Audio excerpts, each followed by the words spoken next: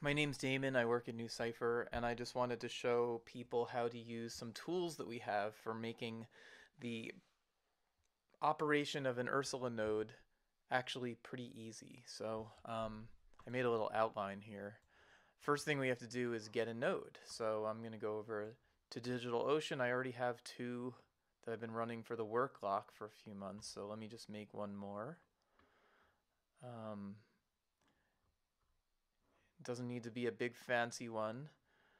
Uh, regular Intel with SSD. Let's go with that. What does that even mean? Okay. Um, regular Intel. San Francisco. Let's go with uh, Amsterdam just for fun.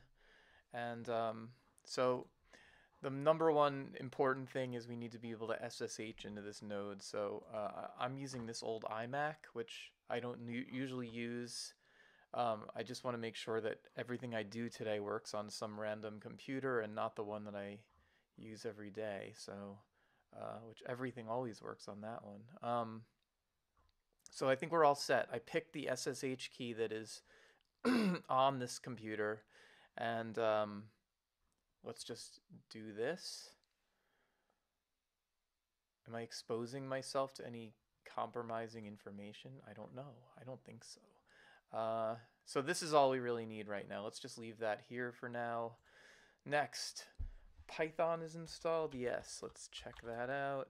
We need Python 3. We do have Python 3, and we have Git. We do have Git. Okay, so the next thing we're going to do, now that we know we have everything we need installed on the computer, let's just scroll back up and look at my outline. Okay, Git and Python are installed. Okay, now we're going to clone the repo. So that is... Um,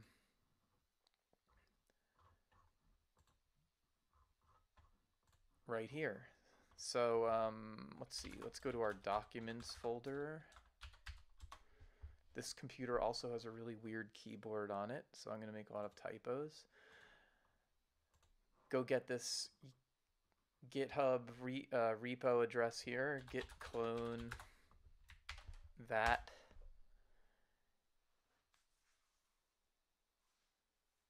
And so what we're going to do is we're just going to use the actual live uh, checkout of the repo for all this. Um, we don't need to actually install the NuCypher library. We're not going to really use it. We're just using some of the installation tools. Um, so the way we're going to use them is like this. We're going to say Python 3. We're going to make a virtual env, a virtual environment, so that when we install all this stuff, it doesn't actually modify our computer. It just kind of works in this little isolation zone. So Python 3-m venv, and we're just going to call it env, because that's sort of a standard thing. And now we're going to source it. So now we're sort of like in everything we do will now only apply to that virtual env. So now we're going to install NuCypher. Oh, sorry, pip3 uh, install dash e dot. That basically means take the code that's in this directory that I'm in and pretend that it's like a library I just downloaded and install it. Okay, so we've got uh, the install done. Seems to have gone all right. Now it's time to actually do this. Um, so let's see. Let's go over to the documentation here.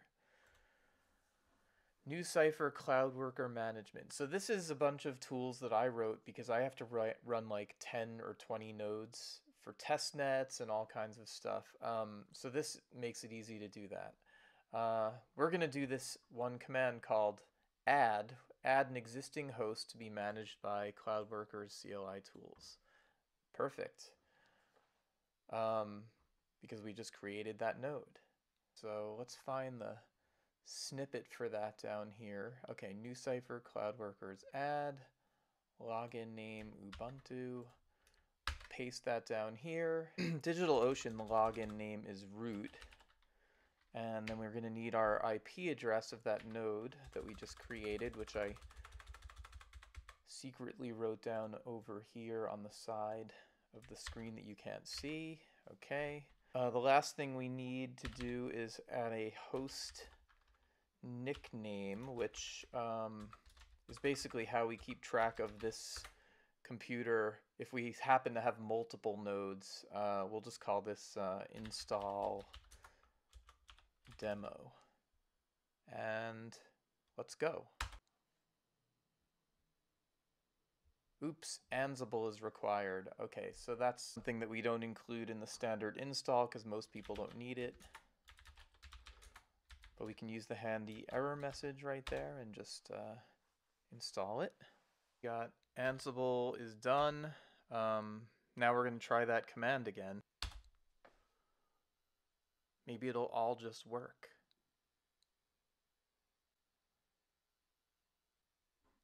Okay, so before we do the next thing, we're just going to test this node out, mostly just to make sure that everything is in place to like install everything and have all the permissions we need.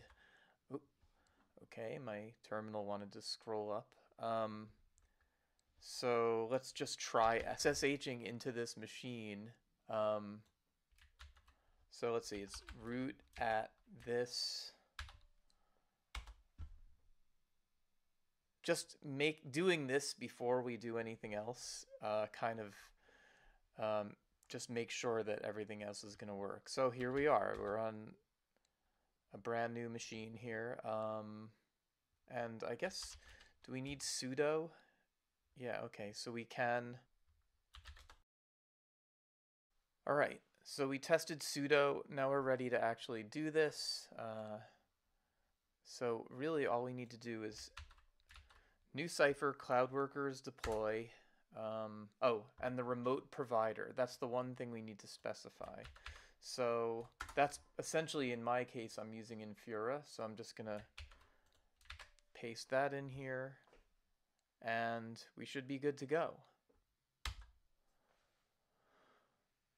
So now what is going to happen is this Cloud Workers thing is going to install everything needed. Um, basically, the whole Ursula worker. It's going to create a an Ethereum wallet for the worker that eventually you will bond the stake to, and um, really, it's going to be up and running. Okay, so my screen recorder crashed pretty much as soon as that started, but it looks like it finished. Uh, let's see what happened here. I'm just going to scroll back to where, okay, so what do we do? We created a NuCypher user. We installed Docker. We installed a bunch of other stuff on our node. We added the NuCypher repo. We um, did a bunch of boring things. Okay, we created a Geth account. Um, let's see. Okay, we got our worker address right here. That's our actual uh, Ethereum worker that we're going to bond the stake to when we stake this node. Really, it's really good to not have to do this by hand. Uh, got our signer set up. Um, so there will be a couple of errors along the way here because this node is not bonded, so it can't actually run on the network yet. But what we really just want to make sure of is that everything got set up okay. We're, we're running, we've got our Infura, we've got our command, we backed up our local keys, we backed up our key store of the wallet that we created. Okay, so let's let's see what's going on on this node. Um, we're gonna just check out our config data here. NuCypher Cloud Workers list hosts dash V to get extra data about this host that we just set up. All right, so now there's some compromising information here, like here is my ETH password. Um, you don't want anyone to ever see this stuff. Uh, but most importantly, I just noticed that I used the wrong Ethereum endpoint. Like this should be mainnet, not Goerli. So actually, I'm just gonna um, show you how to change these things, and it's really easy. So let's do that. So what I'm going to do now is I'm going to run the command for updating nodes. And this is the same thing that you'd do if there was a new version to deploy or if you wanted to change your... Let's actually also set our max gas parameter as well. So we're going to say new cl Cypher Cloud Workers update. Uh, and we need to change the remote provider to, um, let's see, I have it right here.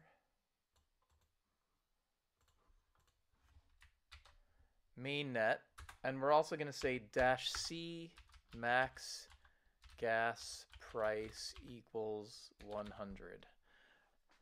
And this is going to be a lot faster because it doesn't have to actually install everything. All it's going to do is pull the latest NuCypher image, which is great if there's a new version out and you just want to deploy it.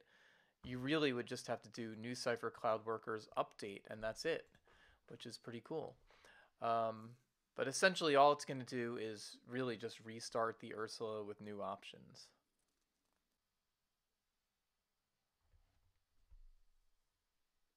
Here we see we have the last log line, node discovery. This is good. It looks like everything worked this time. We now have our new provider right there and our new max gas price of 100.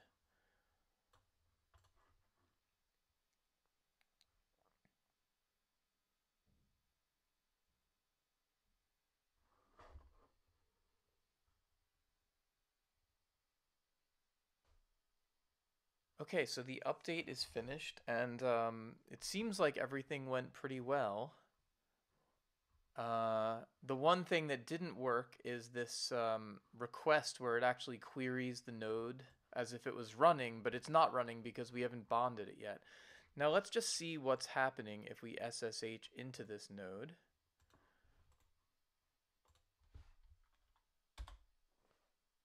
We're just going to look at what the log says. So that's going to be sudo docker logs Ursula. Okay, this is exactly what we wanted here. Loaded Ursula. That's our staker address. No, that's our worker address. Um, and then we have worker startup is paused, waiting for bonding and funding, which I think we'll do in a separate video. But um, it looks like it's all good. And I mean, just to reiterate, now from now on, all we really need to worry about is NuCypher Cloud Workers update.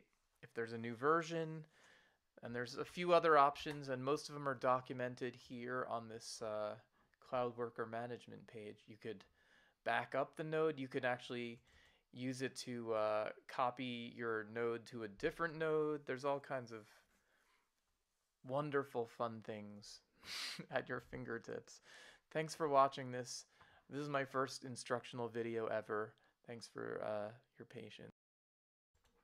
And please, if you ever have any questions, find me and the rest of the NuCypher team on our Discord or in Reddit or uh, Twitter, whatever. We want to help.